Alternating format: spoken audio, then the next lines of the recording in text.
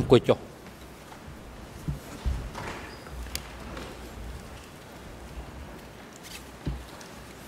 អង្គជំនុំជម្រះប្រកាសបន្តកិច្ចដំណើរការនីតិវិធីសម្ដែងការហើយតទៅនេះផ្ដល់វិការជូនទៅក្រមតំណាងសហប្រញ្ញាដើម្បីបន្តការតាំងសម្រួលនេះដល់ចំពោះស័ក្តិសិទ្ធិ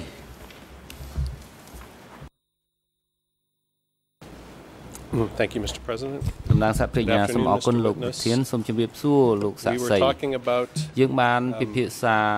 អំពី some women from អឺ K16 ស្ត្រីមួយ office ចំនួនដែលនៅ who were the មន្ទីរ wives ក of 16ដែល who ពួក fled គាត់ to ជា Vietnam ប្រពន្ធ who ended up at របស់បរិសុទ្ធមួយ S21 ចំនួន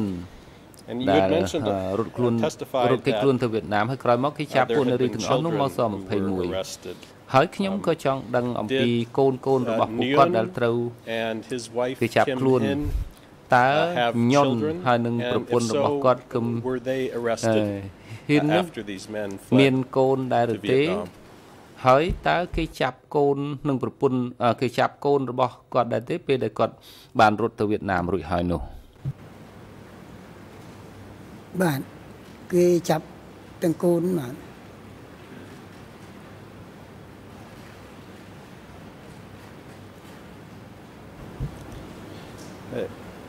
In your DC cam នៅ interview ក្នុង this បទ is សម្ភាសន៍ E3 DC Cam នោះគឺថាឯកសារ5636 at Khmer នៅខ្មែរ000 000 424884 42 484 អង់គ្លេស00 711 225 French 225បារាំង00 00 You stated លោក and I បាន quote, និយាយថាសំដកស្រង់ When Kim Hin នៅ was ពេលដែលគឹម arrested, ហ៊ានត្រូវបាន she ចាប់ had a ខ្លួន child. គាត់មានកូន She was arrested together with the គេ small បាន child. ចាប់ខ្លួនគាត់ជាមួយនឹង Uh, end កូន of តូច quote. មួយសូមចប់សេចក្តីដកស្រង់ How- គឺនៅក្នុង how ខ្សែ did you know ឯកសារ that, E3 លើ Uh, Kim Hin 5636 was arrested together លោក with ដឹង her ដូច small ម្ដេច child. How did ថា you know that? គេចាប់ខ្លួនហ៊ាននេះអឺ ជាមួយនឹងកូនតូចមួយផងនោះបាទពេលហ្នឹងបើតាមខ្ញុំចំណាំខ្ញុំអត់បាននៅទីនោះទេព្រោះខ្ញុំនៅរីយ៉នេះពេលគេទៅចាប់ពួកគាត់ហ្នឹងគឺគេទៅចាប់នៅក16ទេអញ្ចឹងដល់ពេលគេចាប់បោះសម្អាតដល់ចុងក្រោយមកដឹងថាគេយកទាំងកូនទៅតែម្ដងអញ្ចឹងខ្ញុំអត់បានលម្អិតទេបាទសំទោស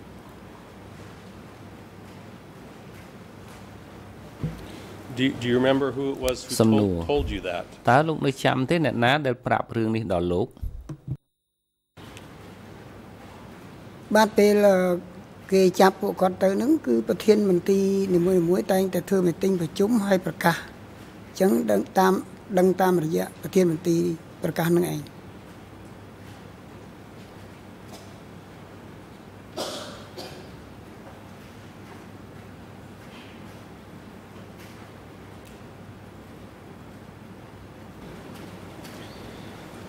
And um, សំណួរ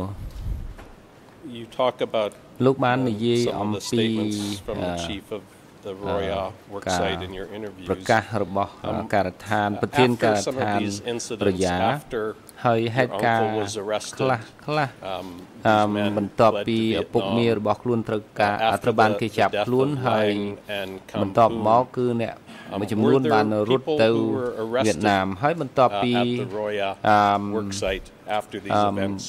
មាន occurred. មកការស្លាប់របស់អឺកម្មាភិបាលមួយចំនួនថាតើមានហេតុការណ៍អ្វីកើតឡើង នៅការដ្ឋានរយបន្ទាប់មកនោះបាទពេលអឺពេលយន្តរត់ហ្នឹងគឺអឺខាងរយោខាងគ្រប់អង្គភាពមិនមែនតែចំពោះតែរយោទេ គឺមានការជ្រុលច្បល់ហើយមានអឺគេពង្រាយកម្លាំងតបឲ្យទៅប្រចាំការគ្រប់មន្ទីរហ្នឹងដើម្បីការពារពួកយើងអត់បានដឹងអីហ្នឹងហើយពេលនោះអឺពេលយប់ពេលថ្ងៃធ្វើការហ្នឹងសិតតែមានអឺទាហានយាមហើយបាទ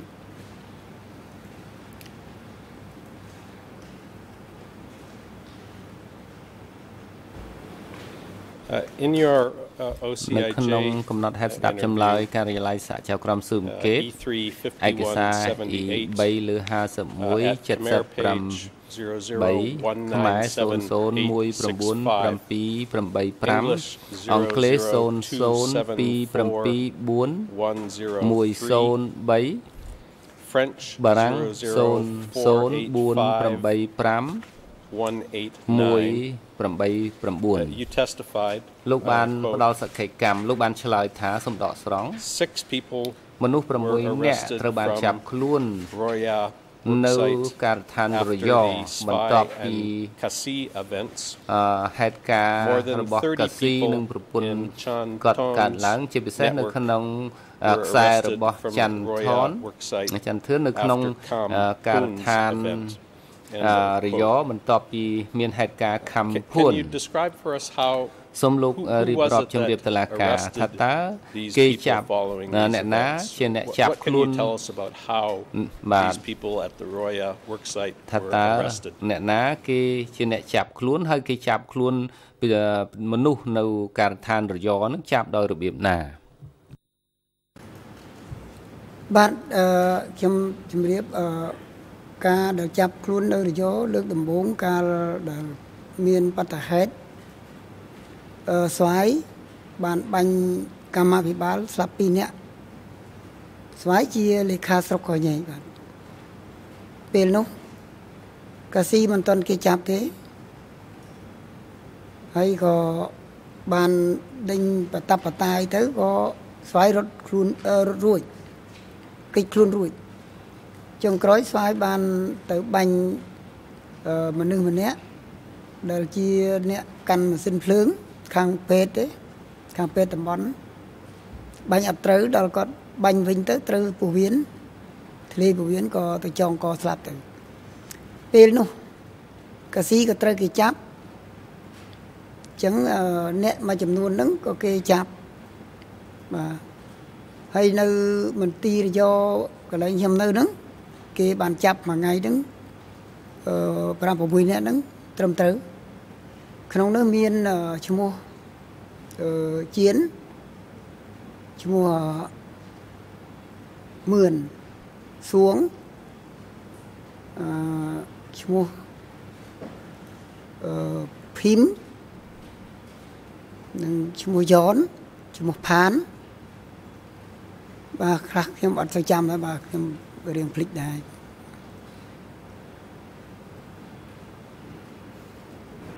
Just just to make sure we're សហ clear. ពេជ្ញដើម្បី um, ឲ្យ I was យើងប្រ asking you កាសថា about ខ្ញុំសួរលោក people who were អំពី arrested មនុស្ស at the ដែល Roya ត្រូវបាន uh, គេចាប់ worksite. ខ្លួននៅការដ្ឋាន Um, were the អឺរ people យ you just named arrested at your តើ worksite? អាមនុស្សទាំង And អស់ what ដែល I'm លោករៀប interested រាប់ in នេះដែល is who, អឺ who គេចាប់ arrested ខ្លួន them. នៅ Did someone អា show នៅ up at រយ the worksite and តើ arrest these អ្នក people? ណាជាអ្នក Or មកចាប់ how did these ខ្លួនពួក arrests គេ at the worksite អឺ happen? អ្នកនឹងមកពីកន្លែងណាមកចាប់អឺខ្លួនអ្នកទាំងនឹងហើយគេចាប់ដោយរបៀបណាបាទគេមកពីតំបន់បាទហើយអ្នកចាប់ហ្នឹងគឺប្អូនឈ្មោះហមហ្នឹងហ្មងឈ្មោះអនស៊ីបាទហើយនឹងអឺសុត សុតជាប្រធានកម្មករហើយអឺអនស៊ីហ្នឹងគាត់អឺពេលដំបូងគាត់ជំនួសកាស៊ីទៅប្រចាំនៅ ស្រុកកែសមាជាលេខាស្រុកក្រោយមកដែលគេរើពីកែសមាគាត់មកនៅតំបន់មិនដឹងជាគាត់មាននីតិអីទេខ្ញុំអត់បានចាំទេបាទ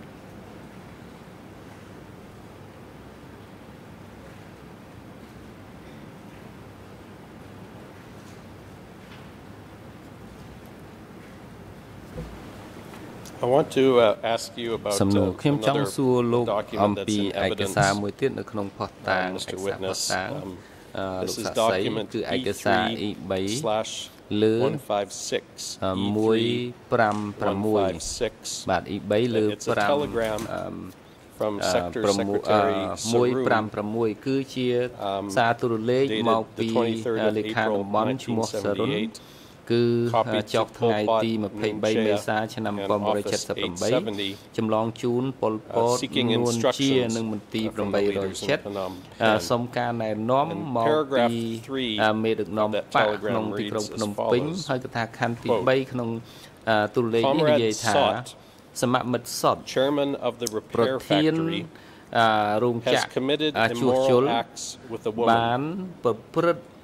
Now Uh, the Salator arrests have been made. ជាមួយស្រីម្នាក់ឥឡូវនេះ Both ការ the ចាប់ man ខ្លួន and the ត្រូវបាន woman ចាប់ have been ខ្លួនហើយ arrested. បរោះនិងស្ត្រីនោះត្រូវ This បានចាប់ comrade ខ្លួន was previously implicated សម in the មិត្តនេះ confession បាន of ច the ង្អុល traitor បង្ហាញ uh, ឬក៏ Schlund. ត្រូវបានឆ្លើយដាក់ពីមុន At that ដោយ time, the ចម្លើយសារ sector ភាពរបស់ monitored his អឺ activities. ជនក្បត់របស់អឺ But ជន now ក្បត់ he ឈ្មោះ has អា been ជួន involved with these ហើយនៅ immoral ពេលនេះ acts. គឺ and has អឺ been គេ arrested បានតាម and ដាន detained. ពីសកម្មភាពប៉ុន្តែឥឡូវនេះ Please help with អឺ your គាត់ opinion បានពាក់ on the ព័ន្ធ level at which ពាក់ this ព័ន្ធនឹង must អំ be ពើ kept ខុស or សិល dissent. ធម៌ ហើយត្រូវបាន Quote. ចាប់ខ្លួននិងឃុំខ្លួន My ពាក់ question ព័ន្ធ to នឹងបញ្ហា you, នេះ Mr. Witness, is សូម about the person ផ្ដល់ជាម who តិ is យោ the បល់ subject of this ពីថ្នាក់ telegram លើមកវិញ uh, from អញ្ចឹង Sarun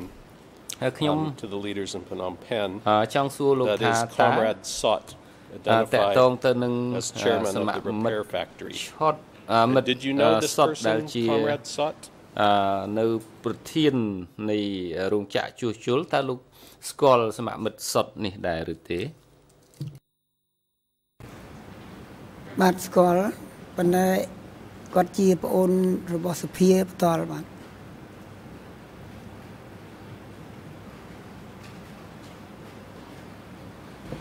W- Was he the same person you just តើ referred to គាត់ a ជា few មនុស្ស moments ago ដដែល as ដែល the chief ថា of the ដែល workers? លោកអឺនិយាយថាសុតនឹងជាប្រធានអឺកម្មករឬក៏ប្រធានក្រុមនឹងតើសុតនឹងតែមួយឬក៏មានពីរ មានតែមួយទេបាទ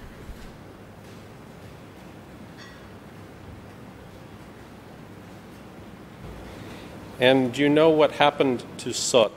តើលោកបានដឹងទេសុតនឹងក្រោយមកគាត់ after អឺ April យ៉ាងម៉េចដែរ 1978? បន្ទាប់ពីខែមេសា Did he ឆ្នាំ survive the 1978តើគាត់បានរស់រៀនមានជីវិតពីរបបនឹងដែរឬទេបាទចាប់តាំងពីនឹងមកអត់ឮគាត់ទេព្រោះគាត់បែប គេចាប់យកទៅបាត់ហើយអត់ដឹង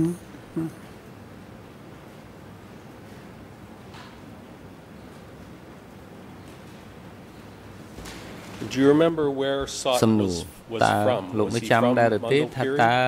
period? សុតនឹងគាត់ជាអ្នកស្រុកកំណើតមកពីណាគាត់នៅមណ្ឌលគិរីដែរឬទេ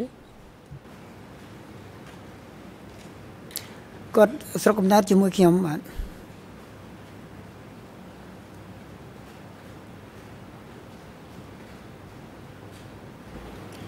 And do I understand you correctly that សហប្រញ្ញា you've never តាម seen ដែលខ្ញុំ Sott យល់ត្រឹមត្រូវនោះ again since ហើយលោកមិនដែលបាន 1978? ជួប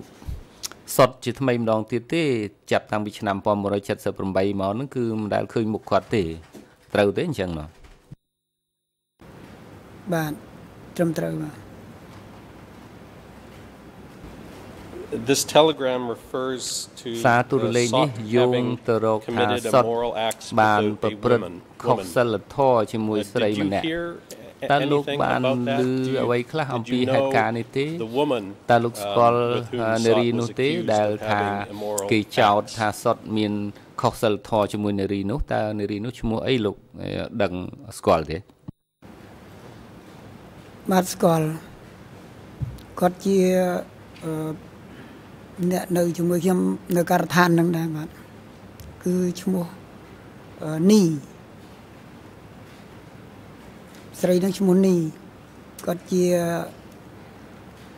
អឺពុកម្ដាយគាត់ចិននេះ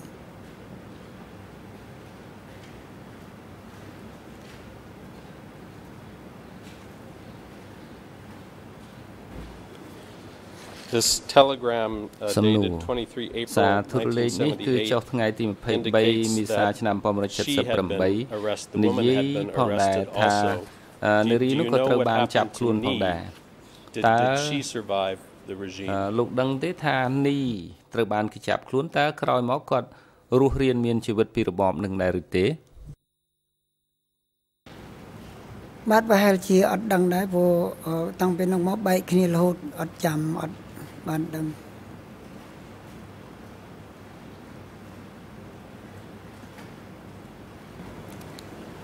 Uh, fair enough. Um,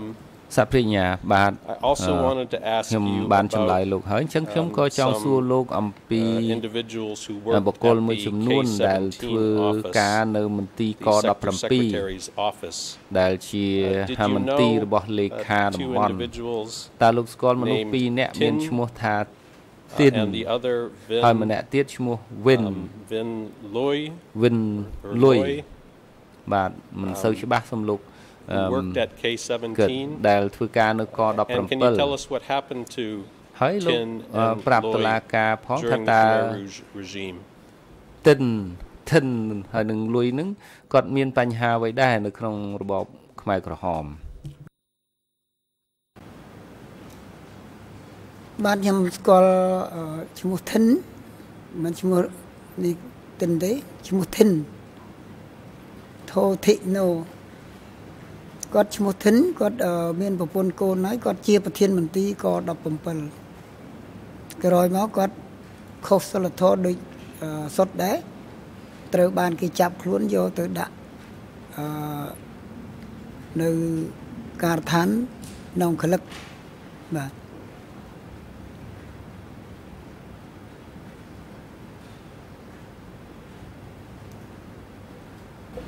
Was was Tin a, a សំណួ relative រ of តើ yours? ធិនជា And did, did he សាច់ survive ញាតិ the របស់ regime? លោកដែរឬទេតើគាត់បានរួចរស់ជីវិតពីរបបនឹងទេបាទគាត់អឺរួចរួចទំគាត់ស្លាប់ឆ្នាំទៅនឹងឯងមក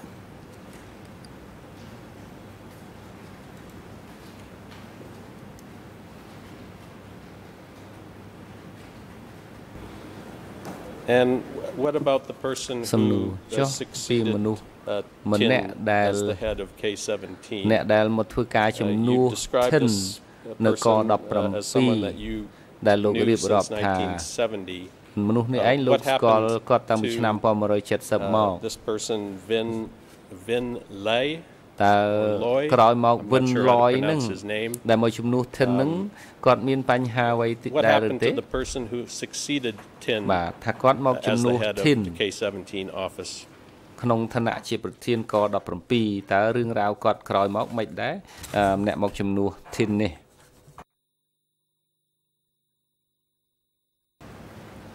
បាទពេលអឺខ្ញុំមកដេកពេទ្យហ្នឹងខ្ញុំបានឃើញកឡយហ្នឹង ទៅអឺយកខ្ញុំនៅរយោខ្ញុំអត់ដឹងថាគាត់ជាជំនួសធិនទេតែឃើញទៅគាត់បានប្រាប់ខ្ញុំថាគាត់បានជំនួសតាធិនហ្នឹងធ្វើជាប្រធានមន្ត្រីក17ហ្នឹងហើយអឺពេលហ្នឹងក17ហ្នឹងក៏មានអឺឈ្មោះសរុនដែលជំនួសអឺហោមតាំងពីនោះមក ដល់ពេលហ្នឹងគាត់ប្រាប់ខ្ញុំខ្ញុំបានស្គាល់គាត់តែដល់ចុងក្រោយមកទៀតប្រហែលជាចិត្តនឹងអឺរំដោះ7មករាហ្នឹងឮថាកន្លយហ្នឹងគេត្រូវចាប់ទៀតប៉ុន្តែខ្ញុំអត់បានដឹងទេខ្ញុំបានមកសម្រាប់ពេទ្យហើយបាទ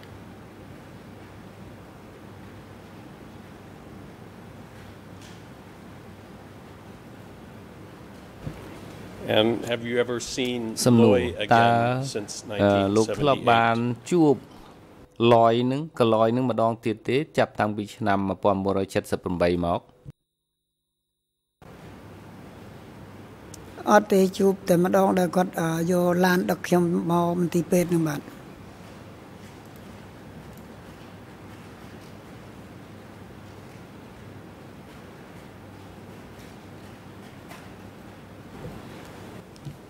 Your honors, for the record, សហប្រញ្ញាលោកប្រធាន S21 គឺថាដើម្បីកំណត់ត្រានគឺថាបញ្ជីឯកសារ E3 លើ2251 and E3 ហើយនឹង E3 លើ1651 record that Vin បានកត់ Loy, ត្រាថា Chief of Office of វិន Sector ឡយគឺជា 105, អ่าប្រ entered ធាន S21 on មន្ the ទីរ 20th of October, 105គឺថាចូលស21គឺថ្ងៃទី Um, 20តុលា Mr. ឆ្នាំ Witness, I wanna turn to 1978 The ហើយ final នឹង subject អឺខ្ញុំនឹងចូលទៅដល់ប្រ general ធានបទ subject ចុង I'm going to ក្រោយ ask you questions បាទ about ជាបញ្ហា today, ទូទៅដែលខ្ញុំនឹង which សួរលោក has to សាក់ do សី with នៅថ្ងៃនេះ Vietnam and ដែលតកតង Vietnamese. ទៅនឹងអឺប្រទេសវៀតណាមហើយនឹងជនជាតិវៀតណាម First, can you tell us អឺដំបូងសូមឲ្យលោក what ជំរាប happened តឡាការ to the តើ Vietnamese people តើប្រជាជនវៀតណាម មានបញ្ហាអ្វីដែរនៅក្នុងខេត្តមណ្ឌលគិរី នៅក្នុងរបបកម្ពុជាប្រជាធិបតេយ្យដែលហៅកាត់ថាខ្មែរក្រហម។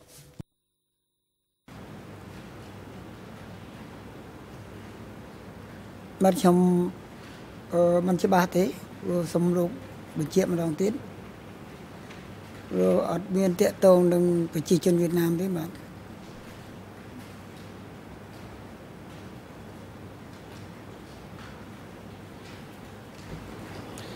My question has to do with whether សំ there ណួរ were របស់ខ្ញុំគឺថា uh, any uh, តើ ethnic មាន Vietnamese ជនជាតិ people វៀតណាមជាជនជាតិ uh, ភាគ or តិច Vietnamese nationals ឬ who ក៏ were living ជនជាតិ in វៀតណាម Mondulkiri រស់នៅក្នុង uh, ខេត្តមណ្ឌល as គិ of រីដែរ April ឬទេ 1975. ចាប់ពីខែមេ Uh, សា and ឆ្នាំ if so, what 1975 happened មក to them បើមានពួកគេ during the រស់នៅ regime? តើមានរឿងអីកើតឡើងចំពោះពួកគេក្រោយពីអឺខែមេសាឆ្នាំ1975មកនោះបាទអឺបើខ្ញុំចាំមិនមិនភ្លេចទេគឺ ជនជាតិវៀតណាមដែលជាជនជាតិភាគតិចនៅមណ្ឌលគិរីនេះគឺដូចអត់សូវមានទេមានតិចតួចប៉ុន្តែប្រហែលជាបើអាចសម្លាប់សម្លាប់មុន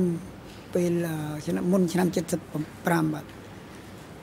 ប៉ុន្តែក៏មានតិចតួចបំផុតដែរបើមានប្រហែលជាអត់នៅដែរ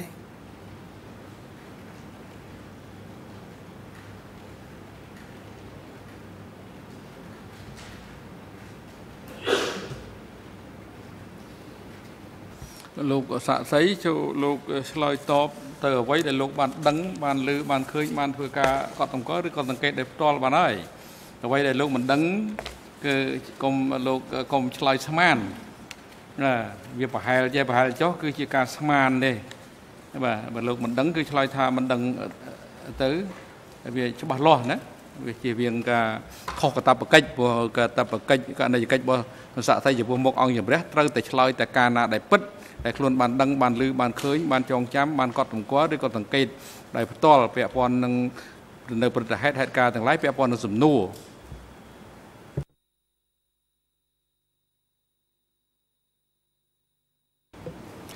Let, let me ask you, សា um, ប្រាជ្ញា Mr. Witness, លោក about សាក់សី something ខ្ញុំ you នឹង said សួរ uh, ពី in បញ្ហា your មួយចំនួនដែល DCCAM លោក interview ឆ្លើយទៅក្នុងបទសម្ភាសន៍មជ្ឈមណ្ឌលឯកសារកម្ពុជា E36 គឺ E3 Khmer ERM 36ឬ36គឺខ្មែរ EN 000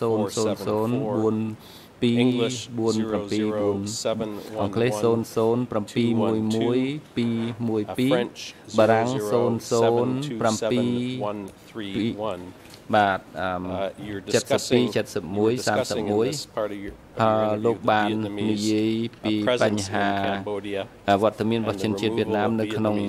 ប្រទេសកម្ពុជាហើយនឹងការដក And you made the following ចេញនៅ statement. កងទ័ពវៀតណាម Quote, ចេញពីកម្ពុជានោះ "The លោកបាន Khmer និយាយ Rouge ថា did not ខ្មែរ stop ក្រហម there. មិនបញ្ឈប់ In ត្រឹមនឹងទេ Krachi, នៅ they ក្នុង even ខេត្តក្រចេះ assaulted and killed ពួកគេ all បានវាយប្រហារហើយនឹង1800សម្លាប់ people of ជនជាតិវៀតណាម starting 1800 from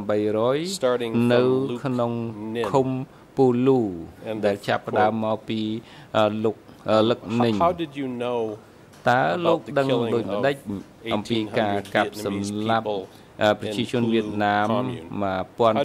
1800នាក់នៅក្នុងឃុំគូលូនេះនៅក្នុងខេត្តកចេះតើលោកដឹងដោយរបៀបណា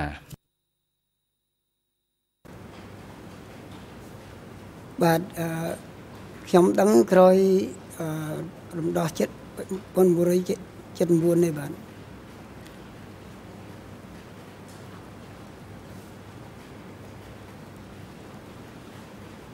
Who, who, who did you learn that from? តើលោកបានដឹងរឿងនឹងពីអ្នកណាខ្ញុំបានដឹងពីជំនាញការវៀតណាមដែលប្រចាំធ្វើការជាមួយខ្ញុំបាទ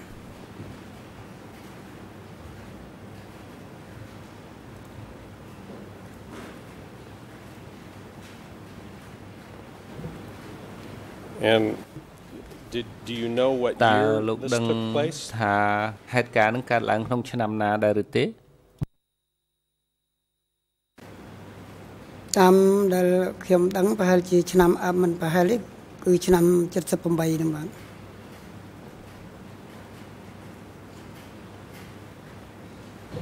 Where, where, um, where is Pulu commune? Is តើ it ឃុំពូ in លូនោះ Kretchi នៅ or កន្លែង is it ណា នៅ in- ក្នុងខេត្ត in ក្រចេះ Vietnam? ឬក៏នៅក្នុងប្រទេសវៀតណាមទេ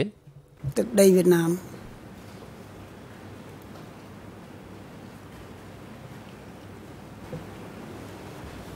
All right. Go- សាប្រិ Going ញ្ញា back to- បាទ to អញ្ចឹងត្រឡប់មកខេត្តមណ្ឌលគិរី during វិញ Khmer Rouge នៅ regime. ក្នុងរបបខ្មែរក្រហម Can you tell us, do you តើលោក know អាចប្រាប់ខ្ញុំបាន uh, what ទេ happened តើមានរឿង to អ្វីកើត people ឡើង who were ចំពោះ discovered to have អឺមនុស្ស connections ដែលគេរ to កឃើញថា Vietnam? មាន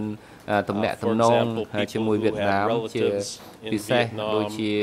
អឺអ្នកដែលមានបងប្អូន people នៅវៀត who ណាម had contacts អ្នក with ដែល that មានទំនាក់ country, ទំនងជាមួយ um, ប្រទេស or នឹង cadres who had ឬ been កម្មា trained ភិ in បាលដែល Vietnam. គេទទួល Can you ការ tell us បណ្ what ដុះបណ្ដាល happened to នៅ those ប្រទេស people វៀតណាម during the regime? តើលោកប្រាប់តឡាការបានទេ អ្នកទាំងអស់នោះ មានរឿងអ្វីកើតឡើងឬមានបញ្ហាអ្វីដែរឬទេ នៅក្នុងរបបនោះបាទបើតាមខ្ញុំដឹងអឺអ្នកទៅរៀននៅវៀតណាមភាគខាងជើង ក្នុងឆ្នាំ1951នោះបានវិលត្រឡប់មកកម្ពុជាវិញ ក្នុងឆ្នាំ1970ពេលនោះក៏បាន ចូលរួមចលនាតស៊ូជាមួយគ្នានឹងខ្មែរក្រហមហើយគាត់ក៏មានតួនាទីខ្លះៗក្នុងស្ថាប័ននៅតាមស្រុកតាមខេត្តហ្នឹងឧទាហរណ៍អ្នកជំនាញខាងទាហានគេឲ្យទៅខាងទាហានទៅអ្នកជំនាញពេទ្យគេឲ្យធ្វើពេទ្យទៅអ្នកជំនាញនយោបាយគេឲ្យទៅខាងនយោបាយនៅខេត្តលូគរីក៏មាន3អ្នកទេគឺមានឈ្មោះឈ្វិន1ម៉ាឡា2 និងអឺអឺផិន1អញ្ចឹងតាផិនគាត់ជំនាញខាងពេទ្យគាត់បានទៅខាងពេទ្យម៉ាឡាគាត់ខាងនយោបាយគាត់គេឲ្យធ្វើលេខាស្រុកបច្ចដាអញ្ចឹងទៅជំនួសតាសរុននេះដល់តាស្វិនគាត់ជំនាញខាងយោធាខាងអឺកំភ្លើងធំគាត់បានទៅខាងនោះដល់ឆ្នាំ73នេះ ពួកគាត់ត្រូវបានបាត់ខ្លួនហើយបាទខ្ញុំសូមអរយោបល់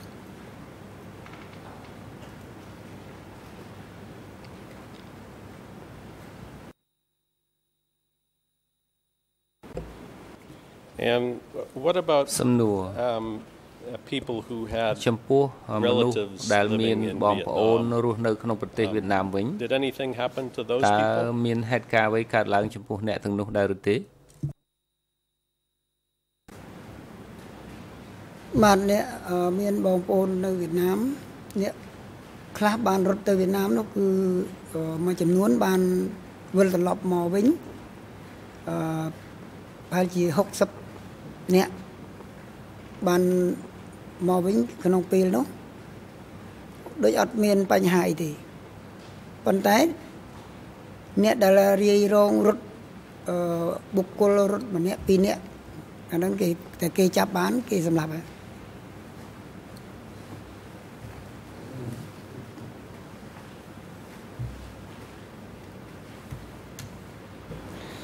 Let me uh, ask សាប្រិ them ញ្ញា about ខ្ញុំចង់សួរ what you លោក said in your អំពី OCIJ អ្វីដែលលោក interview អឺ uh, ឆ្លើយ on ទៅ the ការិយាល័យ subject. សហជីវក្រម This ស៊ើបអ is ង្កេតអំពី E3 ប្រធានបទនេះគឺឯកសារ E3 5178 លើ51 78នៅខ្មែរ AN 001978 57 English អង់គ្លេស002745ដល់696បារាំង004851 This is what you 81 testified uh, to នេះជា the, អ្វី uh, ដែលលោកបានឆ្លើយ investigators. នៅពេលនោះ Quote, ទៅសហ ទៅអ្នកស៊ើបអង្កេ Later ត in ក្រោយមកនៅឆ្នាំ1977 1977ជនរងគ្រោះត្រូវបានគេចោទថាជាអ្នកអឺ កាន់ជើងវៀតណាមកម្កម្មាមាភិភិបាបាលលខ្ខ្មៅមៅក្រក្រហហមមក៏ត្រូវបានគេសម្លាប់ដែរភាភាគគច្ច្រើរើនននៃនៃអ្នកទាំងនោះត្រូវបានទទួលការអប់រំនៅក្នុងប្រទេសវៀតណាម ហើយគេចោទប្រកាន់អ្នកទាំងនោះថាជាភ្នាក់ងារ CIA និង KGB ដូច្នេះមានមនុស្សជាច្រើនបានស្លាប់នៅក្នុងខេត្តនេះអឺសាច់ញាតិហើយនឹងអ្នកដែលជាប់ខ្សែជាមួយអ្នកកម្មាភិបាលទាំងអស់នោះក៏គេសម្លាប់ត្រូវបានគេសម្លាប់ដែរបុគ្គលដែលមានបងប្អូនរស់នៅក្នុងប្រទេសវៀតណាមក៏ត្រូវបានគេកាប់សម្លាប់ផងដែរនៅពេលដែលអង្គការបានដឹង Kao Sima Kau Sema ស្រុក were the កោះ districts ញែកហើយនិង in កែវ which សី most មាគឺជា victims ស្រុក were killed. ដែលជនរងគ្រោះភាគ Most ច្រើន of the ត្រូវបាន killings គេសម្លាប់ occurred in July ការកាប់សម្លាប់ភាគច្រើន1977កើតឡើងនៅក្នុងខែ and the កក្កដា victims ឆ្នាំ were accused of being 1977 Vietnamese ហើយជនរ network. ងគ្រោះត្រូវបានគេចោទ End of ប្រកាន់ quote. ថាជាប់ខ្សែវៀ You តណាម told ចាប់សេចក្តីដក OCIJ ស្រង់ that លោកប្រាប់ a ទៅ person whose ការិយាល័យសហ relatives ចៅក្រម were ស៊ើប living គេ in ថា Vietnam អ្នក would ដែល be មានបងប្អូន killed រស់នៅ if ប្រ this ទេស was វៀត known ណាម to Angkar. គេសម្លាប់អ្នកនៅក្នុង How ស្រុក did you ខ្មែរ know បើ that? អង្គការបាន And ដឹង can you រឿងហ្នឹង identify តើ uh, លោក any ដឹង people ដោយ who were របៀប killed ណា because of that? ថាមានរឿងបែបនេះហើយលោកដឹងថាអ្នកណាដែលគេសម្លាប់នៅស្រុកខ្មែរព្រោះតែគេមានបងប្អូននៅប្រទេសវៀតណាមនោះបាទ អឺខ្ញុំសូមឆ្លើយអឺអ្នកដែលគេសម្លាប់អឺតាមរយៈខ្សែអឺបងប្អូនមាននៅខាងវៀតណាមហ្នឹងគឺខ្សែខាងអឺខ្សែតាប៊ូនីតហើយខ្សែតានេះតាយុនអញ្ចឹងក៏គេត្រូវសម្លាប់ពួកគាត់ដែរតែអត់បានសម្លាប់អឺរួមទេ ឃើញគេសម្លាប់ហ្នឹងគេសម្លាប់តាមខ្សែអញ្ចឹងទៅគេចាប់មកជួរអញ្ចឹងទៅអស់មួយពេលអញ្ចឹងទៅចប់ដល់ថ្ងៃក្រោយគេដឹងរឿងផ្សេងទៀតគេតាមចាប់អាកន្លែងនោះទៀតទៅផ្សេងទៅអញ្ចឹងខ្ញុំពិបាកនឹងអឺរៀបរាប់ដែរព្រោះអត់ដេញវាអត់មែនដុំកពួនឬក៏ចាប់ជាខ្សែឬក៏ជាក្រុមអត់ទេបាទ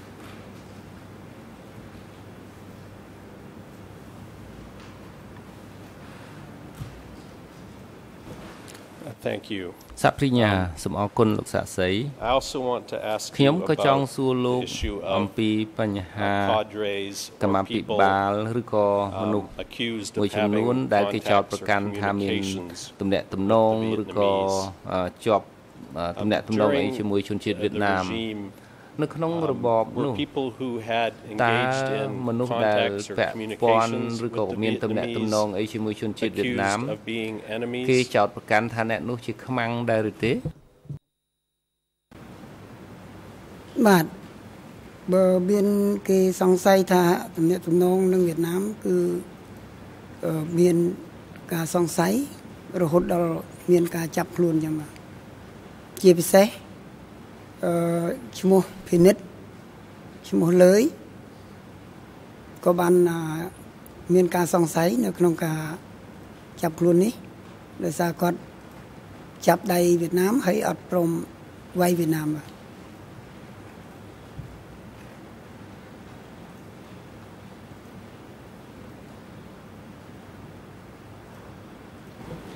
And you talked about this in សំណួ your រ interviews. លោកបាន Can, និ can យា you យពីបញ្ explain ហានេះនៅក្នុងបទសម្ why it ភាសន៍ was that these two សំលោក uh, ពន្យ men ល់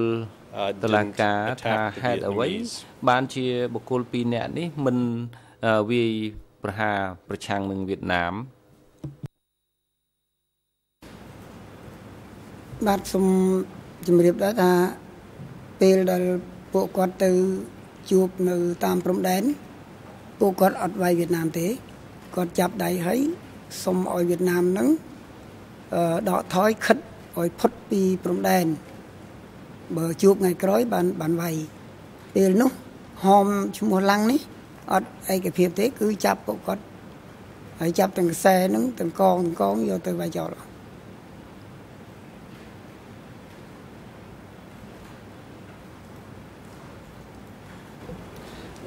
Let me ask you a ស little ព្រិ bit ញ្ញា about ខ្ញុំនឹងសួរលោក um, បន្ថែមបន្តិច the ទៀតអំពី relationship ទំនាក់ទំ with នង Vietnam. អឺជាមួយនឹង you វៀតណាម Uh, testified today លោក that បាន Mandal ឆ្លើយ Kiri, ថ្ងៃនេះថាមណ្ឌល uh, គិ was រី liberated in ត្រូវបានរំដោះនៅឆ្នាំ 1970. Can, 1970 can you describe សំ for លោក the រៀប court រាប់ how ជូនតុលាការ Mandal ថា Kiri, ហេតុអ្វី អឺ uh, តើ province គេ was liberated ខេត្ត in មណ្ឌលគិរីនឹង 1970? ត្រូវបាន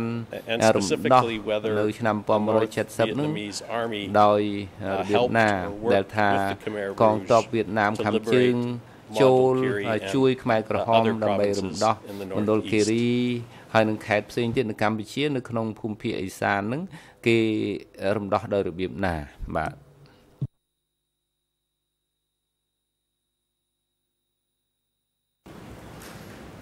បាទអឺសូមជម្រាបថាកាលឆ្នាំ77ក្រោយពីសម្ដេចអូបានអអឺយើងទៅប្រទេសចិនបានអំពាវនាវឲ្យតាមរយៈវៀតណាមហើយខ្ញុំធ្លាប់នៅតាមព្រំដែនហ្នឹងគឺធ្លាប់រស់នៅជាមួយវៀតណាមបាទហើយពួកគាត់ថាសម្ដេចឪបានឯកភាព ឲ្យពួកខ្ញុំជួយវាយកម្ពុជាបាទអញ្ចឹងរយៈពេលដែលគាត់ជួបនិយាយជាមួយខ្ញុំហ្នឹងអត់បានមួយខែទេក៏បានរំដោះខេត្តមណ្ឌលគិរីហ្នឹងក្នុងខែមិថុនាឆ្នាំ70ហ្នឹងឯង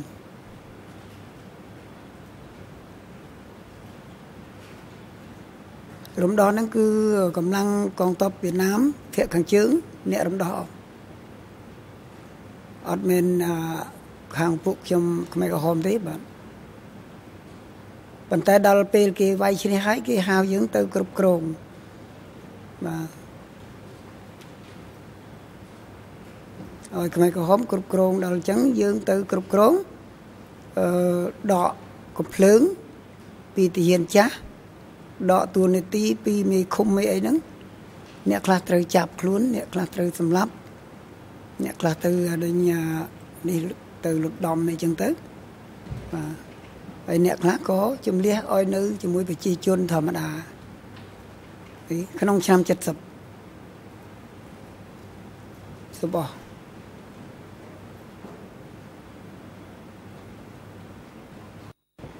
And how long សំណួរ uh, Vietnamese តើ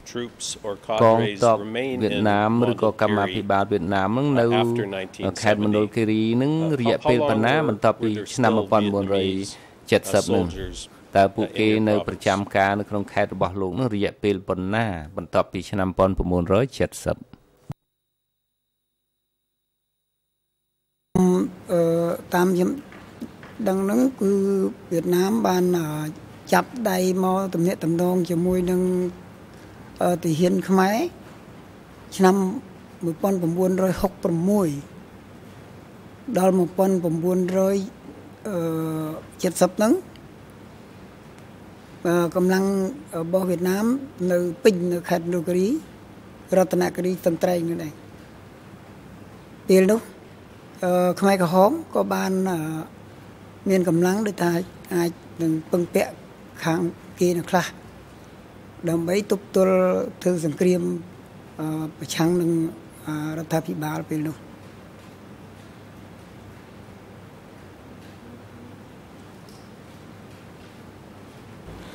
I wanted to uh, ask you um, about something you said in your CHA interview សូមសួរលោកពីអ្វីដែលលោកឆ្លើយជូនមន្ត្រីសង្កេតគឺឯកសារអឺ3លើ5178ខ្មែរ0019860 English 00អង់គ្លេស00274 French ប្រាំង00485 Um you stated here លោកបានឆ្លើយនឹងរៀបរាប់អំពីការងាររបស់លោកដែលលោកធ្វើឲ្យពុកមេរបស់លោកកាស៊ីតាំងពីឆ្នាំ1971ហើយក្រោយមកលោកឆ្លើយថាពីឆ្នាំ74ដល់75លោកទទួលខុសត្រូវក្នុងការទទួលជំនួយពីវៀតណាម តើលោកអាចជម្រាបជូនតឡាការបានទេវៀតណាមបានផ្ដល់ជំនួយអ្វីខ្លះមកដល់លោកក្នុងបណ្ដាឆ្នាំទាំងនោះបានក្នុងឆ្នាំ74ចុង74ចូល75នេះវៀតណាមបានទំនាក់ទំនងនៅស្រុកកែវសីមាបច្ចុប្បន្នហើយបានផ្ដល់ជំនួយខ្លះខ្លះដល់ ខ្មែរក្រហមពេលនោះខ្ញុំបាទគ្រាន់តែជាអង្គរៈទៅតាមគេទេតាមអដិញ្ញាឈ្មោះហមឈ្មោះឡាំងហ្នឹងគាត់ជាលេខាខេត្តដែលគាត់តាក់ទងជាមួយឈ្មោះគណៈភូមិភាគរបស់វៀតណាមឈ្មោះតុងឬក៏ឈ្មោះអឺតាម៉ៃតដឹកពេលនោះ វៀតណាមបានទំនាក់ទំនងថាគេនឹងផ្ដល់ជំនួយខ្លះខ្លះដូចជាប្រេងហើយនឹងថ្នាំពេទ្យនឹងស្រូវពូជឡាក់ហនិងក្របកភ្លើងផងដែរបាទចឹងទេខ្ញុំបានទៅចូលរួម ហើយខ្ញុំក៏បានជួយលើកជួយផ្សេងលើកដាក់ឡាននឹងដែរពេលនោះខ្ញុំមិនដឹងចំនួនទេប៉ុន្តែសរុប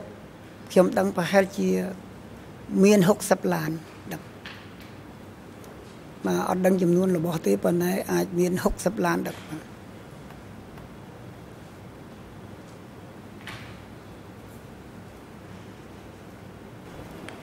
And do I understand correctly, this is something that occurred as a result of liaison or contacts between uh, the sector secretary Lang and authorities in Vietnam. Is that correct? បលាំងសំឡេងតើមកអត់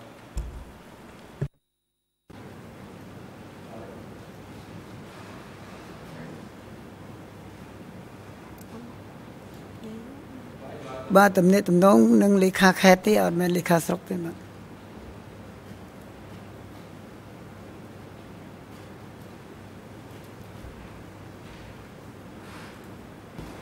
And what what was done with the aid that the sector received ជំនួយដែលខាងតំបន់ទទួលបានហ្នឹងគេចាត់ចែងយ៉ាងម៉េចតកតងទៅនឹងតាំងពីគិតពីប្រេងស្រូវអង្ករក៏ដូចជាសម្ភារៈផ្សេងផ្សេងទៀត បាទបើតាមខ្ញុំដឹងសម្ភារៈទាំងអស់នេះ កាលពេលដែលចរចាគ្នាវៀតណាមសុំដឹកជញ្ជូនទៅដល់កោះញែកប៉ុន្តែហមនេះគាត់អត់អោយអត់អោយវៀតណាមដឹកទេគាត់ដឹកខ្លួនឯងប៉ុន្តែដល់ពេលដឹកខ្លួនឯងហ្នឹងគេសុំគេឲ្យដឹកជូនទៅដល់ត្រឹមស្រុកបច្ចនាពីកែសមាទៅដល់បច្ចនាវៀតណាមក៏ព្រមប៉ុន្តែវៀតណាមអត់ បានជួយលើកដាក់ឡានទេគេឲ្យពួកខ្ញុំហ្នឹងលើកខ្លួនឯងពេលលើកបានហើយគេជូនដល់ត្រឹមស្រុកបច្ចនាគេយកទៅកោញែកគឺតាហោមគាត់ដឹកខ្លួនឯងតែទៅដល់កោញែកហ្នឹងបើតាមខ្ញុំដឹងជាអង្គអើជាដែលស្រូវពូជហ្នឹងគាត់បានឲ្យអាពូជស្រូវអ៊ីអែ7ទឹកដើម្បីឲ្យយើងនឹងធ្វើស្រែហើយចំណែកអាឆ្នាំពេទ្យគឺគាត់ ជូនទៅអដែងពេទ្យតំបន់ហើយចំណែកក្របកំភ្លើងគាត់ជូនឲ្យទៅហ៊ានហើយពេលនោះគាត់មានខោអាវរបស់វៀតណាមសម្រាប់តបគាត់បានបើកឲ្យទៅហ៊ានគាត់ស្លៀកពាក់ម្នាក់មកសម្រាប់ដែរពេលនោះបាទសូមអរ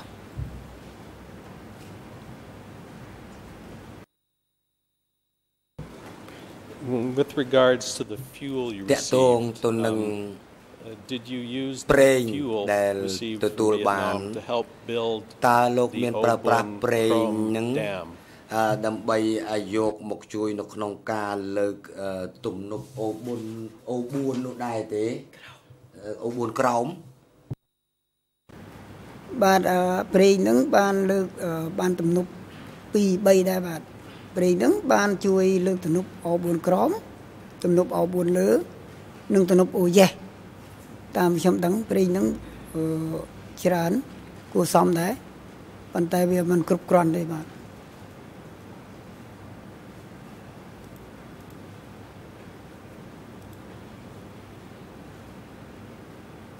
and the Obun Chrome Dam that you use the ទំនប់ O4 ក្រោមដែលលោកបានប្រើប្រាស់ប្រេងសម្រាប់លើកហ្នឹងតើនេះគឺជាទំនប់ដែលគូសំផនគាត់បានទៅទស្សនានៅក្នុងឆ្នាំ1974ហ្នឹងឬក៏មិនមែនទេ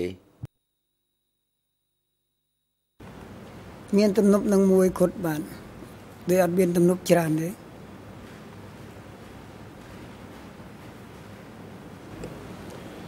I want to ask you about one more thing that you say ខ្ញុំសូមសួរលោកមួយចំណុចទៀត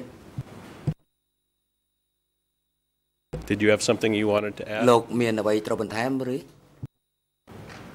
បាទអត់ទេ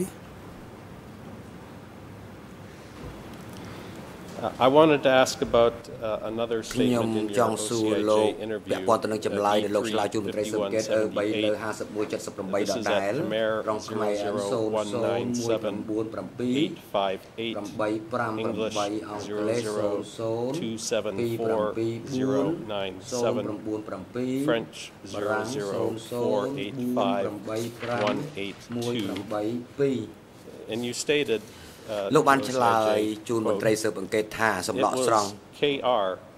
the Khmer Rouge who fought Vietnam ខ្មែរក្រហមដែលបានវ័យប្រយុទ្ធជាមួយវៀតណាម ហើយវៀតណាមអត់បានវាយមកលើយើងវិញទេបញ្ចប់ការដកស្រង់ហើយក្នុងចម្លើយលោកឆ្លើយជូនមជ្ឈមណ្ឌលឯកសារកម្ពុជាអឺខ្មែរ0019718 English 002741112 French បារាំង004034440 You said something similar គឺនៅក្នុងឯកសារអឺ3លើ5180លោកបានឆ្លើយដូចតទៅ Vietnamese attack us តើវៀតណាមមានវាយយើងទេឬក៏យើងវាយវៀតណាម We attacked the Vietnamese យើងវាយវៀតណាម and not the other way round ហើយវៀតណាមមិនបានវាយយើងទេបញ្ចប់ការដកស្រង់ Can you explain why why តើលោកអាចបញ្ជាក់បានទេថាហេតុអ្វីបានជាខ្មែរក្រហម វាយវៀតណាមតែវៀតណាមមិនវាយខ្មែរក្រហមវិញទេ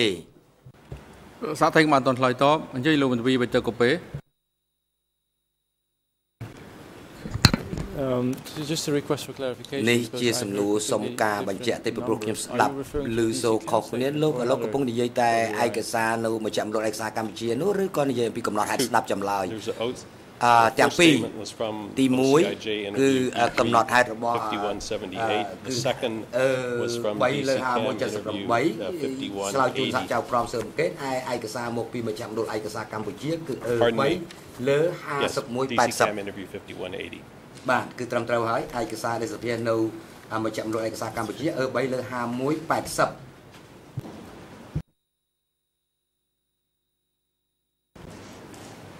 The question, uh, Mr. Witness, um, លោកសាក់សី Why did you say ហេតុអ្វីបានជាលោកឆ្លើយថា who attacked គឺខ្មែរក្រហម and not the other way ដែលជាអ្នកវាយវៀតណាមឯវៀតណាមមិនវាយមកលើខ្មែរក្រហមវិញទេ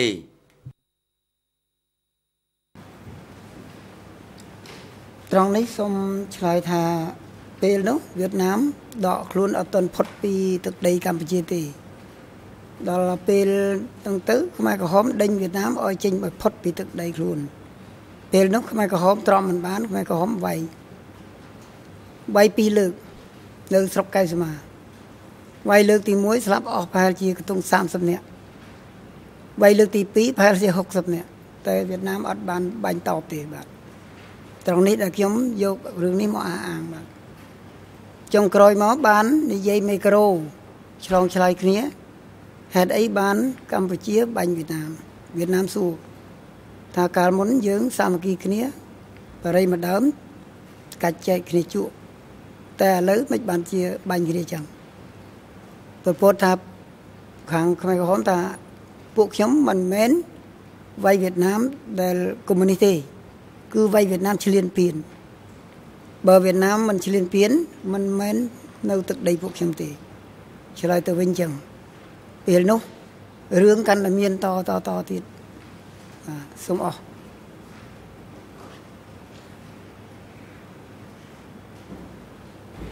And uh, a little earlier you mentioned ហើយមុននេះបន្តិចលោកនិយាយពីកងទ័ព2នាក់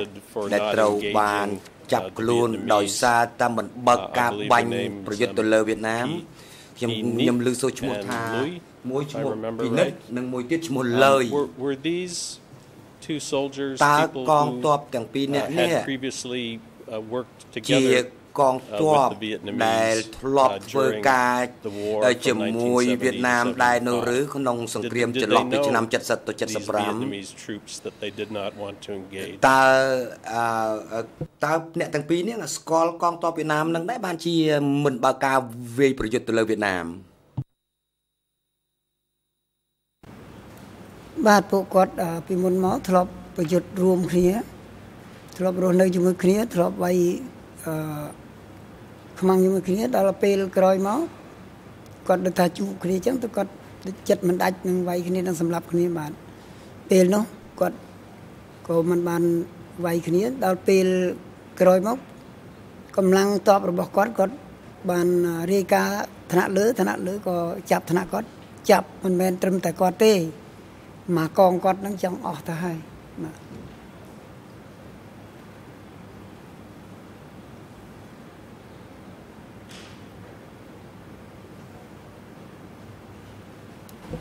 Thank you um Mr Witness I'm almost សូមអរគុណ done លោក with សា my ស្ questions There's ត្រី one last ខ្ញុំ thing ចិត្តចប់ um, I was hoping you might be able to ចិត្តបញ្ចប់ការតាំងសំណួរទៅ uh, help កាន់ us លោកហើយ with. Um,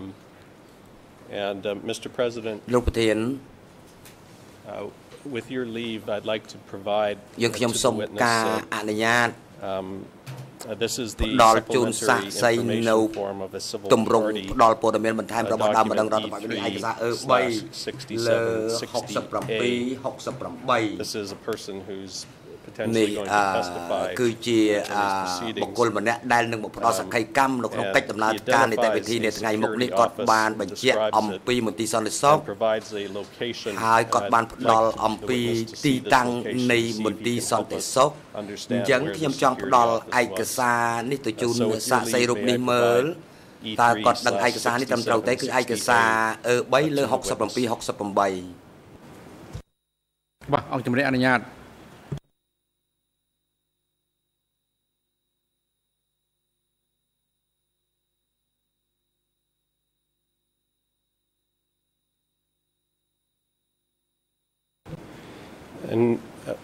Mr. Witness, uh, don't say the លោក name សា of ក្សី this person. សំលោកកុំ Um, បញ្ចេញឈ្មោះបុគ្គលម្នាក់នេះឲ្យសោះ uh, Please don't say the name of the individual who's បាទលោក on this អានឃើញ document. ឈ្មោះនេះនៅលើឯកសារនេះហើយកុំនិយាយ You ឈ្ see មោះ a គាត់ highlighted reference there. ខ្ញុំមានដាក់ Um, ពណ៌ this civil party នៅលើ was ឯកសារនេះ a នេះគឺជា Division ដើមដឹងរដ្ឋប920វេនីដែល soldier. មកអឺ And he describes being មកកងពល detained at a 920 special ក៏និយាយអំពី security ការ office ឃុំខ្លួនកងទ័ពនៅមន្ទីរសន្តិសុខពិសេសមួយ near a នៅ tributary ក្បែរ of the ជើងភ្នំ stream នៅក្បែរអូ Olapo អូលពៅ in Konye district. នៅស្រុកកោះញេ Um, This is not a person from បុគ្គលនេះ uh, Mondulkiri. មិនមែនជាអ្នកមកពីមណ្ឌលគិរីទេ My question to you is ដូ do ច្នេះ you សំណួរ know របស់ខ្ញុំសួរថា um, តើលោក uh, ស្ which គាល់ security office ថាមន្ទីរ uh, សន្តិ is សុខ being referred មួយ to ណា here? ដែល Um, we don't សា have very ដើម many ដើម detailed ម្ដងរដ្ឋបវេនី maps លើកឡើង of យើងអត់មានផែន uh, ទី your di- of បញ្ជាក់ Konya ទីតាំង district. លម្អិតអំពី Oh, yeah, district. ទឹកដីស្រុកកោះ Do ញេ you ក know នេះទេ where the Olip តើ stream is? លោកដឹង Do you ថា know what security អូ office, លពៅនៅ uh, was ត្រង់ located កន្លែង at the ណា foot of ដែរ a mountain ហើយ near that លោកដឹងថា stream? មន្ទីរសន្តិសុខមួយនេះនៅក្បែរជើងភ្នំ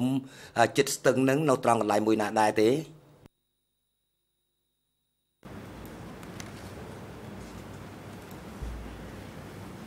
ស្រុកកោះញែកអត់មានឈ្មោះអូលពៅទេបាទ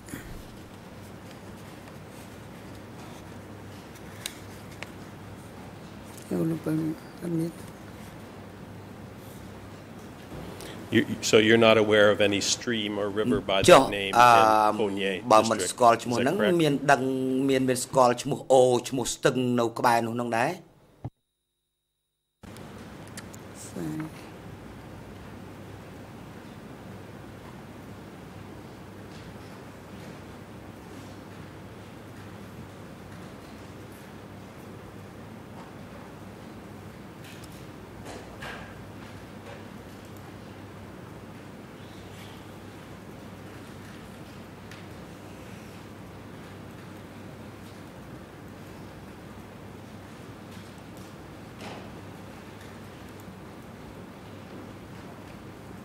នេះគឺអត់មានអូខេមិនក៏សួរថានៅស្រុកកោះញែកហ្នឹងបើអត់មានអូលទៅមានអូអីផ្សេងមានអូប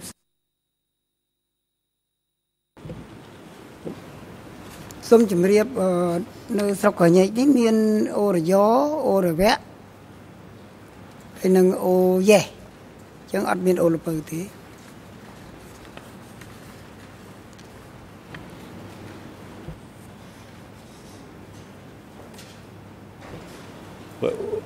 Was there a stream uh, nearby either the K11 office ស្ទឹងព្រែកនៅក្បែរមន្ទីរក11ឬក៏នៅក្បែរមន្ទីរសន្តិសុខភ្នំក្រោមអីដែរទេតើនៅក្បែរទីតាំងទាំងពីរនេះមានអូមានស្ទឹងមានព្រែកណានៅក្បែរនោះដែរនៅភ្នំក្រលនេះមានទំនប់អឺកម្មករនឹងតែមួយគត់បាទ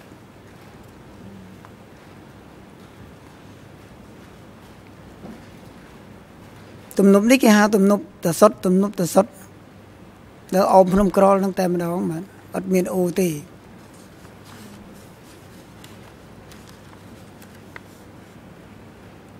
អឺគុកអដេញ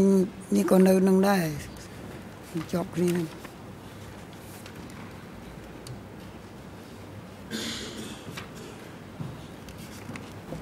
thank you uh, Mr Witness for answering my question អរគុណលោកសាក់សីដែលឆ្លើយ We have no further questions មកកាន់សំណួរទាំងឡាយរបស់ខ្ញុំខ្ញុំអស់សំណួរឲ្យលោកប្រធានសូមអរគុណ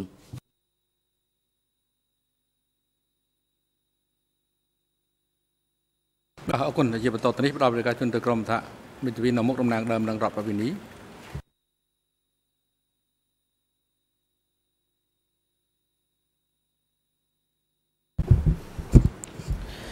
សូមអរគុណលោកប្រធានជាបឋមសូមគោរពលោកប្រធាននិងអង្គសមាការទាំងមូលសូមគោរពលោកសាក់សីខ្ញុំឈ្មោះទីស្រីណាជាមេធាវីតំណាងដើមម្ដងរដ្ឋពេលនេះខ្ញុំមានសំណួរតិចតួចដើម្បីសួរទៅកាន់លោក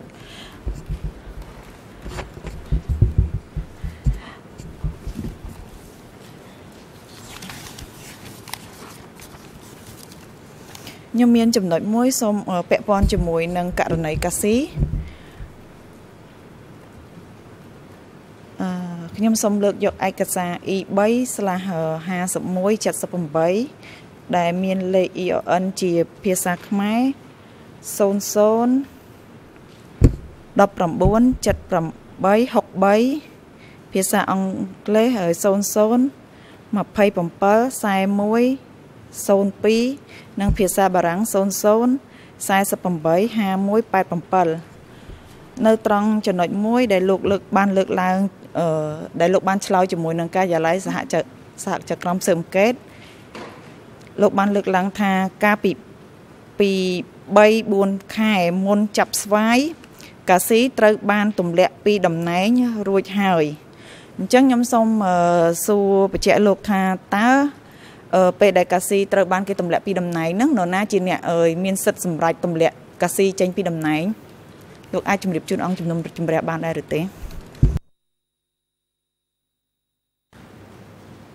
បានទទួលបានអឺអ្នកទម្លាក់កាស៊ីចេញពីតំណែងគឺគ្មានក្រៅពីលេខាតំបន់ទេ ដែលមានសិទ្ធិធំជាងគេបាទ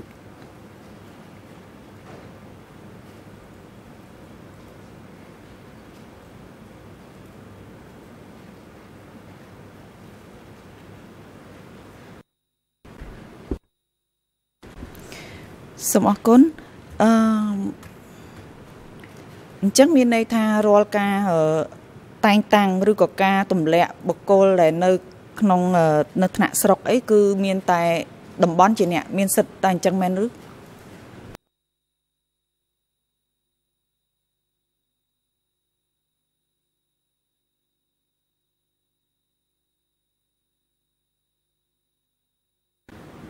បាទ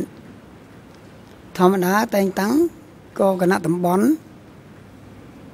នេះជាលេខាតំបន់ឬក៏ជាលេខាខេត្តអឺតលាក់ក៏ក៏លេខាខេត្តក៏លេខាតំបន់ដែរបាទសូមអរគុណនៅក្នុងករណីហ្នឹងខ្ញុំសូមសួរលោកថាតើខាងតំបន់ហ្នឹងគេមានត្រូវការសុំឆ្លងយោបល់ថ្នាក់លើបន្តទៀតឬមួយក៏ជាការសម្រេចរបស់ខាងតំបន់ដោយខ្លួនឯង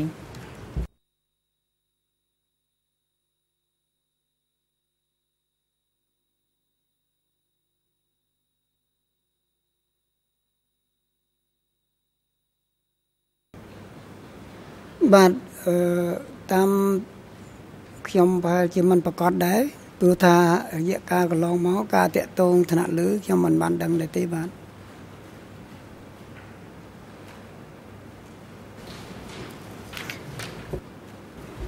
សូមអរគុណខ្ញុំសូមលើកសូមបញ្ជាក់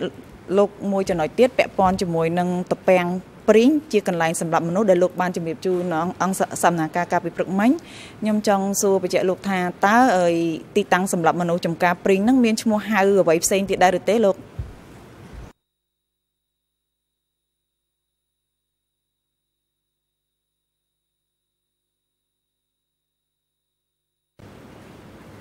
បាទដូចជាអត់មានឈ្មោះអីផងមានមានតែផ្លូវផ្លូវផ្លូវពីកោះញែកមកខេត្តកញ្ចេះ អឺជាប់នឹងមានតពាំងមួយគេហៅតពាំងព្រីងបាទមានតែឈ្មោះតែប៉ុណ្ណឹងបាទ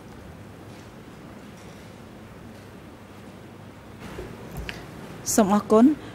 អឺខ្ញុំសូមលើកពាក់ព័ន្ធជាមួយនឹងតំណែងតំណងវិញម្ដងថាតើអីអឺមន្ទីរក15លោកក៏បានលើកអំពីមន្ទីរក15ហើយនឹងបានលើកអំពីមន្ទីរក16និងក17 អញ្ចឹងខ្ញុំសូមសួរលោកថាតើមន្ទីរទាំងហ្នឹងវាមានតំណែងតំណងជាមួយនឹងមន្ទីរអឺតំបន់105ហ្នឹងដោយរបៀបណាហើយគេប្រើប្រាស់មធ្យោបាយណាដើម្បីធ្វើការតំណែងតំណងគ្នា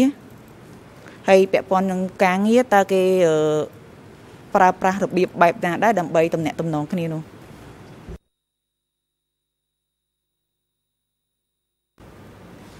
បានក្នុងពេលដែល មន្ទីរទាំងប្រមាណបើតាមនិយាយចំវាមន្ទីររបស់អាណាអាណាភិបាលរបស់ខេត្តហើយជាអាណាភិបាលរបស់តំបន់មាននេះដូចជាមន្ទីរក16មន្ទីរក11មន្ទីរ37អីចឹងមន្ទីររយោជាមន្ទីរ37ប៉ុន្តែជាការដ្ឋានសម្រាប់អីទឹកបង្កបង្កើនផល ដល់អញ្ចឹងក្នុងមន្ទីរទាំងអស់នោះវាជាអដិញក្នុងក្របខ័ណ្ឌរបស់ខេត្តទាំងអស់អញ្ចឹងទេការតំណាក់តំណងក្នុងមធ្យោបាយឲ្យដំណឹងគ្នាទៅវិញទៅមកចំណន់នោះអត់មានទេលេហ្វូនទេបាទគឺផ្ញើតាមអឺកណ្ដាអាដេញលិខិតឬក៏តាមនារសាដែលជីសេះឬក៏ជីរទេសគោអញ្ចឹងបាទសូមអរ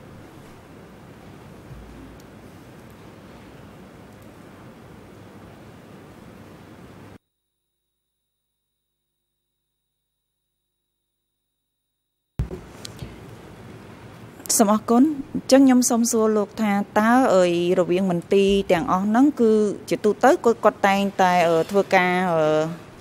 តំណាក់តំណងគ្នាទៅលើរាល់ការងារទាំងអស់គឺគាត់តែងតែតំណាក់តំណងគ្នាតែអញ្ចឹងមែនទេលោក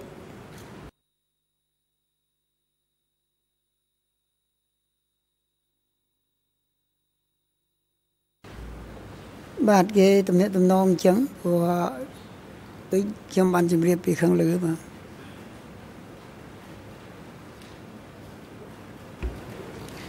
អញ្ចឹងខ្ញុំសូមលើសួរលោកបន្តទៀតថាតើរាល់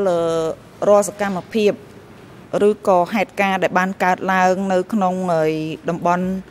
105ទាំងមូលដូចជាក្នុងករណីដែលលោកបានលើកកាពីព្រឹកមិញដូចជាអឺករណីដែលមានមួយក្រុម ដែលចុកខ្សែកាស៊ីហ្នឹងគាត់បានចំនួនមនុស្សមួយក្រុមចំនួន18នាក់ដែលចុកខ្សែកាស៊ីគាត់រត់ទៅវៀតណាមរត់អីហ្នឹងគឺរាល់ការងារទាំង ព័ត៌មានដែលពាក់ព័ន្ធជាមួយនឹងការរត់ចេញអញ្ចឹងមានន័យថាមន្ត្រីទាំងអស់ហ្នឹងគឺពួកគាត់សុទ្ធតែដឹងរឿងនឹងទាំងអស់គ្នាឬក៏យ៉ាងម៉េចលោកឬមួយក៏ដឹងគ្រាន់តែមានការលាក់ការសម្ងាត់ទៅលើតកន្លែងណាដែលគាត់កាន់ខាងហ្នឹងឬក៏យ៉ាងម៉េចដែរ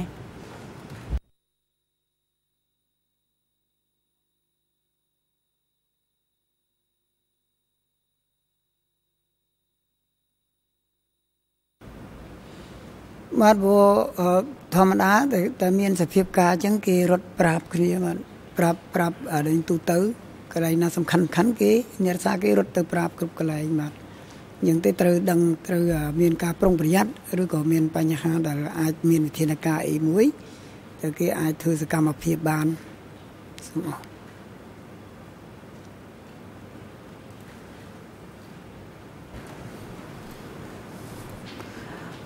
សូមអរគុណ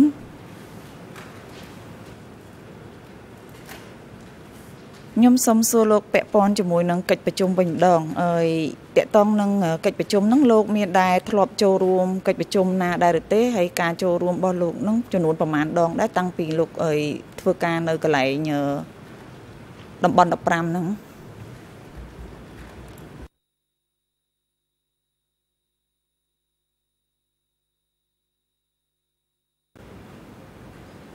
បាទខ្ញុំមិនដែលបានចូលរួមទេ បើសិនជា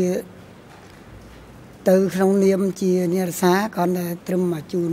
ទឹកជូនបាយគេបានបាទ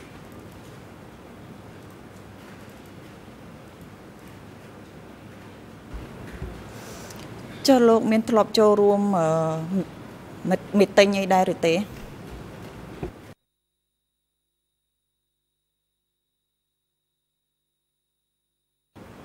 បាទមានចូលខ្ញុំបានចូលរួមមីតិញនៅ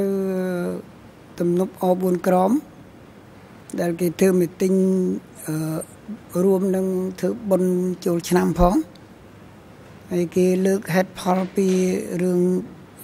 ធ្វើសង្គ្រាមជាមួយវៀតណាមអត់ប្រកាសខ្ញុំបានចូលរួមមិនមែនខ្ញុំម្នាក់ទេមនុស្សរាប់រយរាប់ពាន់អ្នកចូលបាទ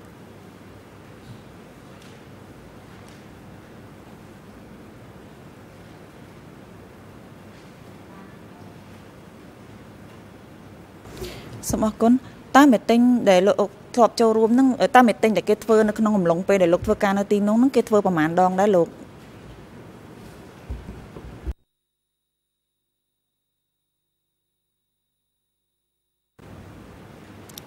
បានមីតិញគេធ្វើអានេះ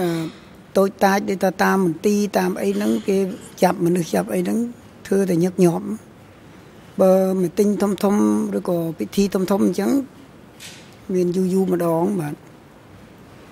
គេហៅប្រជាជនគ្រប់ភូមិគ្រប់ស្រុកអញ្ចឹងមកជុំគ្នាគេធ្វើតាមមន្ទីរតាមអង្គភាពអញ្ចឹងទៅគេធ្វើមីតិញដែលចាប់មនុស្សមួយប្រកាសអញ្ចឹងគេធ្វើប្រាវ1ម៉ោង2ម៉ោងអញ្ចឹងទៅគេចាប់ចងមនុស្សកដាលវាលអញ្ចឹងអានឹងញឹកញឹកញាប់ហ่ะសូមអរ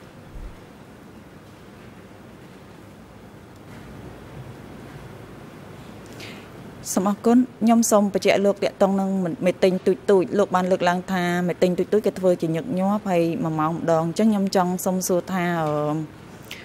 អឺអ្នកដែលពេលដែលគេធ្វើមេទិញទូចទូចហ្នឹងហើយមានអ្នកណាគេខ្លះចូលរួមហើយអ្នកណាជាអ្នកដើរតួនាទីនៅក្នុងប្រកាសការប្រកាសពីបញ្ហាដែលចាប់មនុស្សចាប់អីហ្នឹងអ្នកណាគេ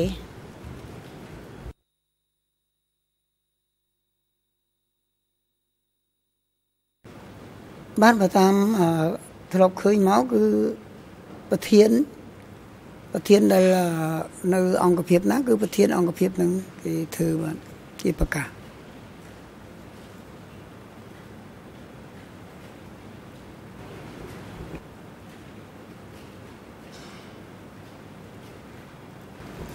សូមអរគុណខ្ញុំសូមសួរសំណួរចុងក្រោយមួយពាក់ព័ន្ធជាមួយនឹង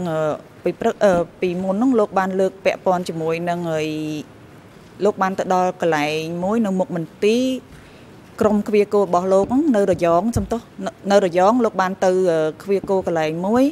ហើយលោកក៏បានចុះទៅហើយអឺយកទឹកដើម្បីយកមកហូបអញ្ចឹងពេលនោះលោកបានទៅមុខមន្ទីរមួយហើយដែលមន្ទីរនោះលោកបានឃើញឡានមួយចតនៅកន្លែងនោះដែលក្នុងនោះមានក្រុមមនុស្សមួយក្រុមដែលគេដាក់នៅក្នុងឡាននោះដែលបំរុង លោកលោកបានលើកឡើងចំណុចហ្នឹងខ្ញុំចង់សួរបញ្ជាក់លោកថាលោកមានបានមើលក្នុងឡានហ្នឹងទេតើក្នុងឡានហ្នឹងមានមនុស្សប្រុសឬក៏ស្រីហើយក៏មានកុមារដែរឬទេ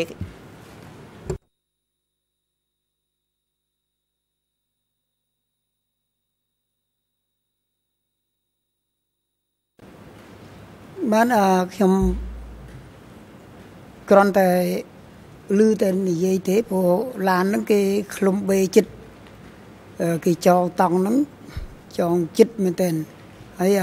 កម្លាំងគេអ្នកយាមគេយាមនៅក្រមហ្នឹងខ្ញុំគ្រាន់តែថាដងទឹកដោយសារពុយទឹកគេហ្នឹងនៅចិត្តនឹងឡានហ្នឹងបាទប៉ុន្តែខ្ញុំបានឮនេះគឺជាគ្នាដែលធ្លាប់រស់នៅជាមួយខ្ញុំធ្វើការជាមួយគ្នានៅស្រុកកែសមាដែលគេសុំវល់ខ្ញុំឲ្យខ្ញុំសុំទឹកខ្ញុំផឹកហ្នឹងខ្ញុំថាខ្ញុំមិនអាចយកឲ្យគាត់បានទេសូមគាត់អធិស្ឋានផងខ្ញុំថាខ្ញុំ ឥឡូវគេឲ្យទៅឃ្វាលគោឃ្វាលកបីនៅរយគាត់បានសួរថាតើបងកាស៊ីគាត់នៅរស់ដែរឬអត់ថ្ងៃនោះតើកាស៊ីនៅរស់ទេ បាទពួកខ្ញុំចេញមកខ្ញុំបានចាប់ដៃគាត់ហើយលាគ្នាពេលអឺ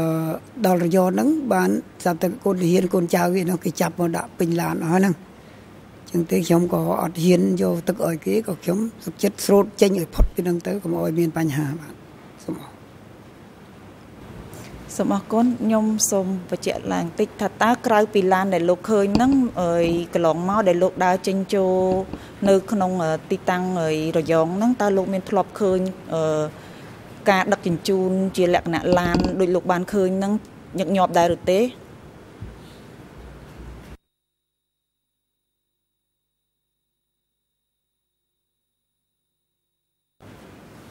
បាទមិនសូវមានប្រហែលទេព្រោះមួយយ៉ាងខ្ញុំក៏មិនសូវអាសាចិញ្ចូលប្រហែលដែរបាទសូមអរគុណខ្ញុំសូម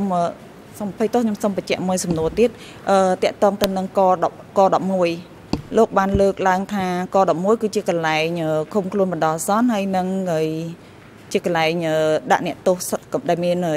កំហុសស្រាលអញ្ចឹងខ្ញុំសូមសួរលោកថាតើពេលដែលគេយកអ្នកទោស មកដាក់នៅក11អញ្ចឹងតើគេមានការសួរចម្លើយឬក៏ធ្វើទរណកម្មទៅលើបុគ្គលនោះដែរឬក៏អត់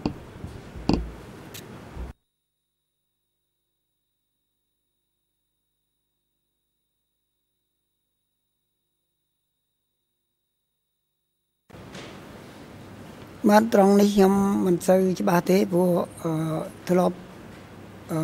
សំណេះសំណាលឬក៏ធ្លាប់ជួបជាមួយអ្នកដែលធ្លាប់ ចូលទៅកន្លែងនោះហើយគេបានរួចខ្លួនមកវិញនោះគេអាសានិយាយប៉ុន្តែខ្ញុំក៏មិនច្បាស់ដែរបាទសំទោស